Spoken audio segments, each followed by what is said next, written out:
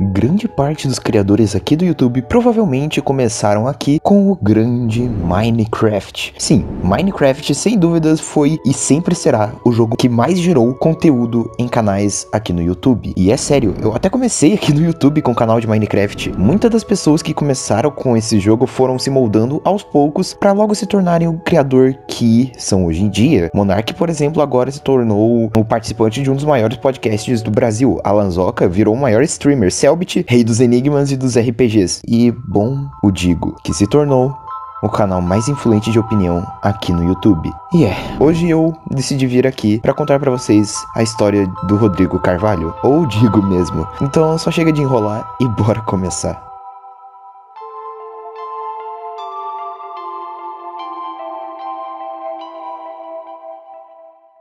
Quando eu fiquei sabendo da existência do Minecraft, eu fui no Google pesquisar para tentar baixar, e assim acabei caindo em vídeos aqui no YouTube, tendo a minha primeira experiência aqui, exatamente como foi com o Digo. Depois disso, no ano de 2013, ele foi lá e criou seu primeiro canal de Minecraft, o Diguinho 9803, se inspirando nos canais que ele assistia na época, como o Monark. Beleza, galera, Diguinho tá falando e estamos com o meu primeiro vídeo do canal, estamos com Minecraft. Chega a ser muito louco ver a voz do Digo nesse vídeo e depois ir lá e ver a voz dele atualmente nos vídeos de opinião. Tá, mas enfim. Como ele ainda era criança, óbvio que os vídeos dele não tinham toda aquela edição insana que o cara tem hoje em dia. Ali era o básico do básico, rolando OBS num PC fraco a 12 FPS com um mic de headset. Mas cara, ninguém começa aqui no YouTube fazendo uma obra de arte. E eu sei disso, pois eu meio que comecei assim também, só que bem pior. Ok, voltando pro tema do vídeo, o Digo prosseguiu com seus vídeos de Minecraft por um tempo, até que daí ele começou uma série de vídeos mostrando os servidores de Minecraft. E que, para para Rodriguinho era apenas mais uma série no seu canal, mas isso logo mudou, porque depois de um tempo de canal, ele tava lá com seus 40 inscritos, ele lançou esse vídeo específico de servidor de Minecraft. E foi esse vídeo aqui que simplesmente explodiu e logo se tornou o vídeo mais visto do seu canal. Então ele simplesmente foi voando de 40 inscritos para 400. E daí ele começou com esses vídeos de servidores, que sempre davam certo, mas mesmo assim ele ainda postava seus vídeos normais, que pegavam muito menos views que os outros. E bom, infelizmente o óbvio acabou acontecendo. Muitos dos que se inscreviam no canal do cara eram só inscritos fantasmas, que vieram nos seus vídeos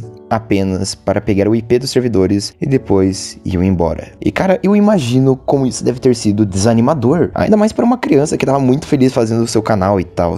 Tipo, imagina, as pessoas indo nos seus comentários e só falando que tu compra bot e que é um canal falido. Deve ser algo muito merda. E sim, isso acabou levando ele a desistir do seu canal por completo. Porém, ele não desistiu do YouTube, porque ele decidiu começar um canal do zero para que todos que se inscreverem lá sejam realmente o seu público fiel. E bom, parece que tudo ia dar bem. Mas acabou que deu tudo mal. Com um ano de canal já e mais de 1k de inscritos, ele só simplesmente parou. Não só porque o PC dele estava muito ruim, mas também porque ele tinha começado a faculdade. E querendo ou não, ele começou a focar mais nos seus estudos do que no seu canal, fazendo ele parar com ele por completo. E bom, ele ficou com isso por muito tempo, até mais ou menos 2019. Mas durante esse tempo pra cá, algo estava ocorrendo no YouTube, que era o surgimento dos vídeos de comentário e opinião. Os clássicos vídeos de pessoas falando com uma gameplay de fundo, que começou lá na gringa com o Leaf e que o azul trouxe pro Brasil. Até que o Golart foi lá e simplesmente popularizou a parada no Brasil todo. Isso de forma bem resumida, porque eu poderia ficar umas 4 horas falando disso, mas eu tô aqui não para falar da história dos canais de opinião, e sim da do Digo. Então, enfim, depois que o Golart começou a explodir, muitos começaram a tentar produzir vídeos desse tipo aqui no Brasil. E eu digo tentar porque a própria comunidade feita pelo Golart não deixava. E, e é sério, eu não sei porquê, mas todos que metiam uma gameplay de fundo nos seus vídeos já eram taxados de cópia do Golart. E isso ficou se repetindo por um baita tempo, fazendo que ninguém se aventurasse em fazer vídeos desse estilo. E bom, depois de tudo isso, 2019 chega e Digo volta a produzir vídeos pro YouTube depois de tanto tempo sem fazer nada. Até que então ele decidiu voltar a produzir vídeos pra cá. Então ele voltou com o vídeo Minha Visão sobre o YouTube. E bom, se você acha que ele voltou explodindo como agora, uh, não. Ele era mais uma cópia do Golart na visão do público, mas mesmo assim ele continuou fazendo seus vídeos, até a chegada desse vídeo aqui sobre a Gabi Catuso, que simplesmente mudou o estilo de edição dele para algo mais próximo do que ele faz agora, e assim criando o seu próprio estilo, que não era mais só uma gameplay de fundo e ele falando com uma voz baixa. E bom, depois disso o Digo começou a aumentar sua frequência e foi postando mais e mais vídeos desse estilo, postando tipo acho que três vídeos por semana, sabendo que isso poderia dar certo, até que ele chegou em um vídeo que tinha um tema considerado na época algo hype, que era um vídeo sobre canais abandonados.